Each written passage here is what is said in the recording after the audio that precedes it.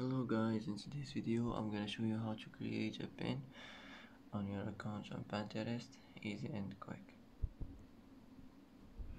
Uh, once you're here, uh, go here on this uh, icon here, click on it and you will find pin, just click on it like this and here choose any photo or video from your gallery. And that's it, click next and that's it. It will be created. That's how to uh, how to create a pin for on your account on Pinterest? Easy and quick. And that's it for today's video. If you like this video don't forget to like and don't forget to subscribe. I hope this video is helpful for you.